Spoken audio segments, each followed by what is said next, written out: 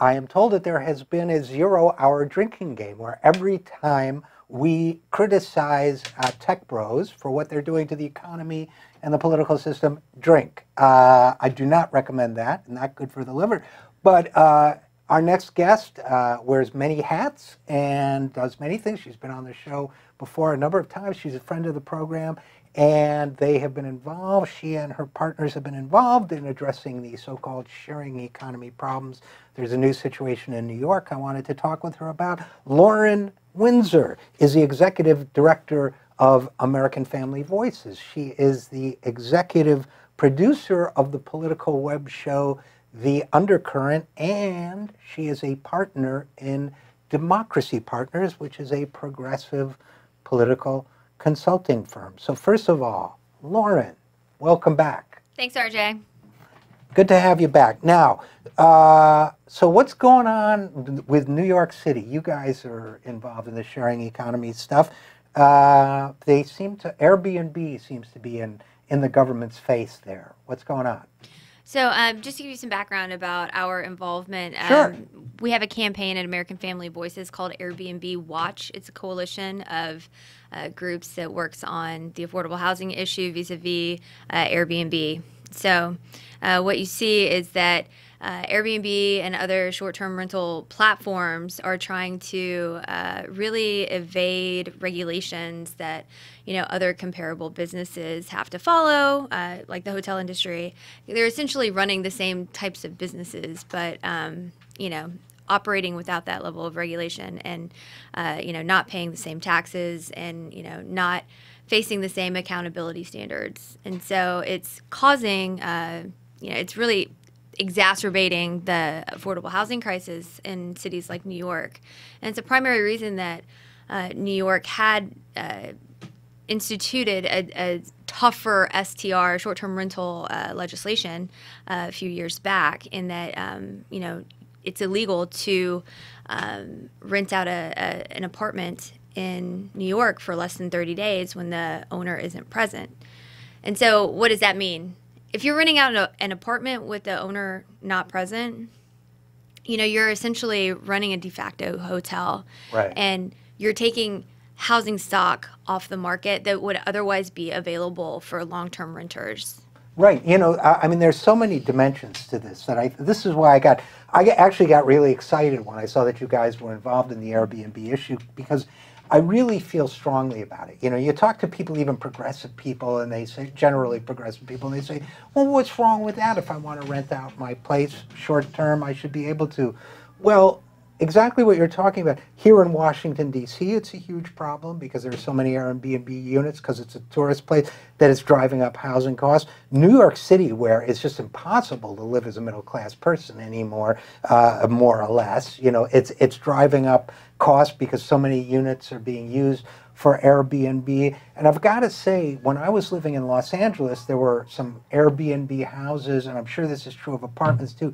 It sucks to be the neighbor of an Airbnb B&B unit in most cases, especially if it's what the kind you're talking about under this regulation, the kind where the owner isn't there. So you're next door, the apartment next to you or the house next to you is an Airbnb house.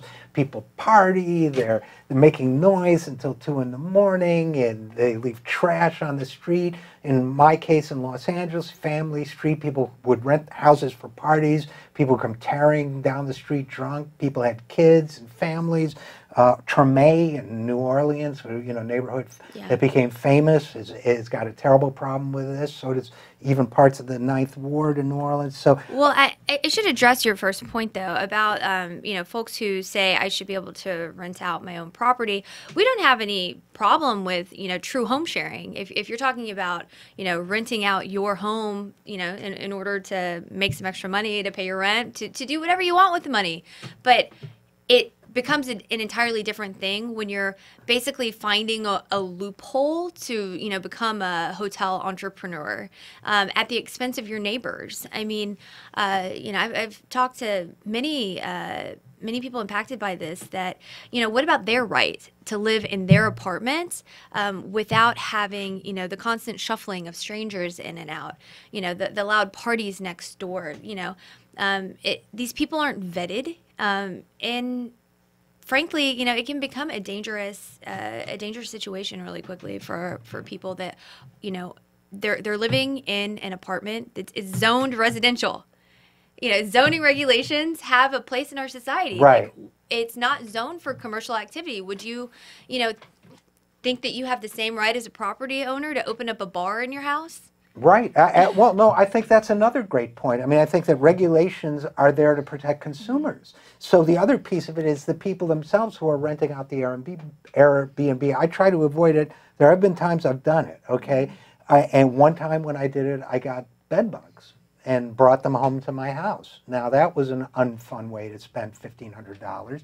Uh, and be uncomfortable. Well, if it had been a hotel, I would have had recourse, and hotels are subject to inspections and things like Airbnb does. When we went to the Democratic Convention, covered the Democratic Convention, we did an Airbnb cockroaches. Well, hotels don't, you know, they, check. So, so the other thing is is that uh, Airbnb units, like everybody else, that's providing a service to the public, regulations are there to keep us healthy and safe, right? Uh, yeah, I actually um, had contact with um, someone on Airbnb uh, that had used a service in uh, in like Destin, in one of these Florida beach cities, and you know he's going on vacation. He's rented out this um, apartment, and he gets bed bugs, and you know like pretty soon into the vacation, and you know he's got to get rid of all of his stuff and go to a different hotel, and you know the amount of money that was reimbursed to him from Airbnb was, you know, nothing compared to what he then had to spend to replace all of his stuff and then book a new hotel last minute. Yeah, I think I got two hundred and fifty dollars or something like that, and uh, and this was like everything in my house had to be, yeah. you know. Uh, so uh, to talk to New, uh, about New York, um, you know, one of the major issues with Airbnb is that they are just not transparent. They don't want to share data about their hosts.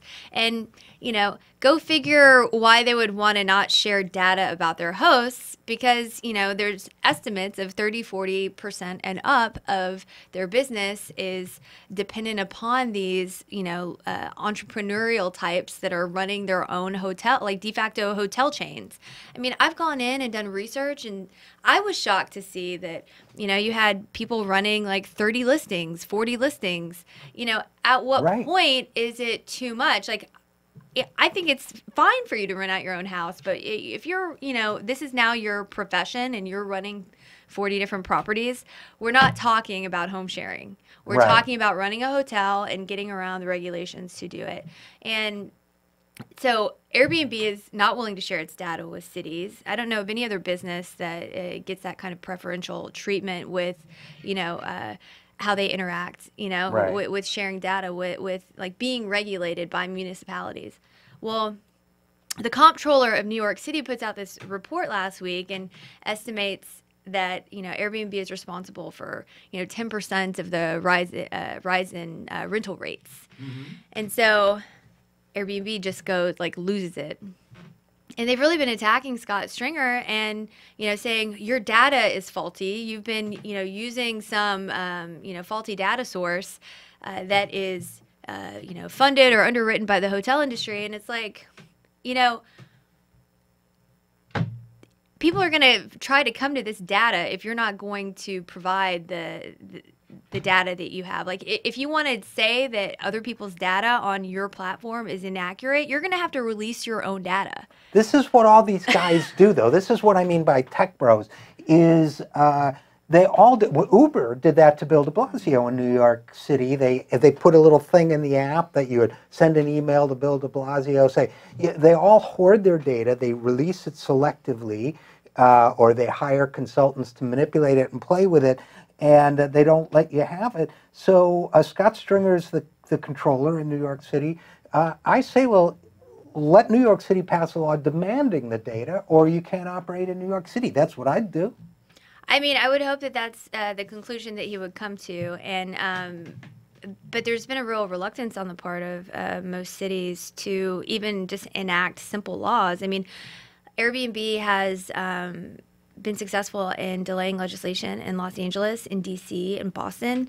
All of these cities have been facing, uh, you know, affordable housing crises, and uh, you know, it just keeps getting pushed back and pushed back and pushed back. And, you know, that's their ultimate goal is to not be under any regulatory regime, right? So, Right. you know, And- that's a win for them. and to bully, I mean, in a sense, there's an ideology here too. They want to bully politicians with their money, like any corporate, you know, predators do.